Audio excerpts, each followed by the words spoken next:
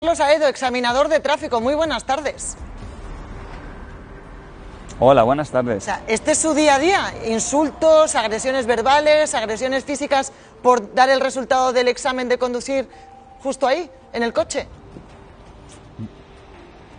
Bien, agresiones verbales prácticamente está a la orden del día. Las agresiones físicas, bueno, no se producen todos los días, pero es una cosa que no estamos de acuerdo con ello. Entonces, eh, evitar las agresiones es esencial y por eso estamos pidiendo, en este caso, una de las reivindicaciones de estos paros es a la DGT, pues que busque un poquito estos entornos seguros para dar estas notas.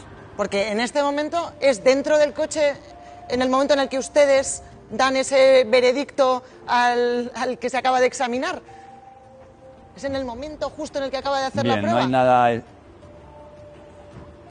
Bien, nosotros estamos obligados por la Directiva Europea y por el propio Reglamento General de Conductores a dar las explicaciones. Eh, en ningún momento dice que si es dentro o fuera del coche, únicamente que, bueno, como comprenderás, en determinadas provincias, pues con 40 grados al sol o en provincias con nieve o lluvia, creemos que es conveniente cuando se pueda darlas dentro, simplemente por un poquito por la imagen, pero no estamos obligados a ser ni dentro ni fuera, únicamente estamos obligados a dar esas explicaciones claras y concisas de cómo ha ido el examen. Lo que ocurre que estamos detectando que en esa entrega del resultado, el papelito de apto o no apto, es donde se están produciendo las agresiones. Le voy a poner testimonios de algunos de sus compañeros, eso es lo que nos han dicho hoy un chico un puntazo que tuve que ir a... Me dieron dos, dos veces la inyección del tétano. Que me iban a cortar el cuello. Y cuando llegó a la altura del cristal donde yo me encontraba, en la parte derecha trasera, empezó a golpear con una riñonera que llevaba con un bolso. Y bueno, la verdad es que el susto fue bastante grande. Al mismo tiempo nos insultaba. Te tengo que decir que para la cantidad de testimonios que hemos encontrado en este sentido, hay muy pocas denuncias ante la policía. Bien, ahora mismo lo único que se está teniendo en cuenta para las estadísticas de la DGT son las agresiones físicas. Entonces, bueno, esas agresiones físicas no se, no se producen todos los días, pero simplemente con que haya una agresión, yo si fuera en este caso la Administración, día intentaría paliar para que esas agresiones fueran las mínimas posibles. Si nos ponemos en un contexto global y según la DGT son dos millones de pruebas las que se realizaron el año pasado, estadísticamente, efectivamente, pueden tener razón, esas 15 o 20, eh, esas 15 o 20 agresiones físicas es un porcentaje muy pequeño, pero simplemente queremos que eviten o que se intente evitar que esas agresiones se produzcan. No, cualquier agresión ya es una barbaridad, pero dígame la verdad, ¿alguna vez ha probado a alguien por miedo? No, para nada.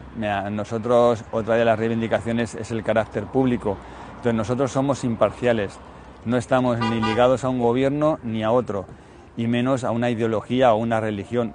Por eso nosotros somos imparciales. Y otra de las reivindicaciones de estos puntos de la huelga es prestar un servicio público. Ahora mismo se están externalizando muchos servicios y nos tememos que exámenes pase a ser por el modo privado. Eso es lo que nos estamos negando. Nosotros somos funcionarios públicos y esa imparcialidad no la iba a tener la empresa privada. Mire, el presidente de las autoescuelas de Madrid ha dicho esto hoy. Yo entiendo que puedan pedir un cambio de modelo, pero creo que lógicamente lo que están justificando como medida de previa para ese cambio de modelo no se ciñe realmente a la realidad vida diaria. Cualquier persona de una forma inesperada te pueda proferir un insulto, pues lo tenemos al pie, al cabo de la calle, o sea, incluso en situaciones de tráfico diarias. Y no sé, creo que cualquier colectivo, en este caso un servicio público, pues sabe a lo que se atiene. Viene a decir que ustedes están justificando las medidas laborales que piden a través de las agresiones.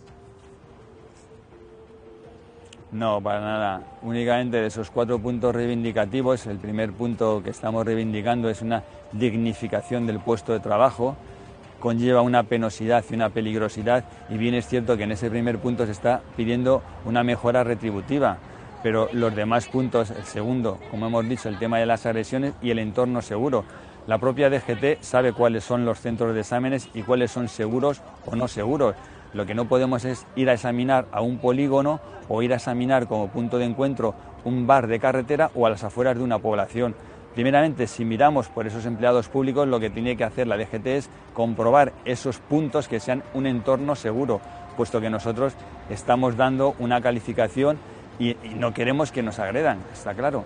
No queda claro. ¿Van a seguir con los paros o el de hoy es algo puntual? No, en un principio los paros siguen en vigor. Estos paros corresponden desde el día 14 de septiembre y los paros son de tres horas al finalizar la jornada. Lo único que hoy ha cambiado esa convocatoria y es una, una huelga de 24 horas, pero simplemente para el, para el hecho de hoy. Pues- Mañana continúan los paros igualmente como antes. Juan Carlos, que les hagan caso, que les garanticen la seguridad. Gracias. Venga, gracias a vosotros.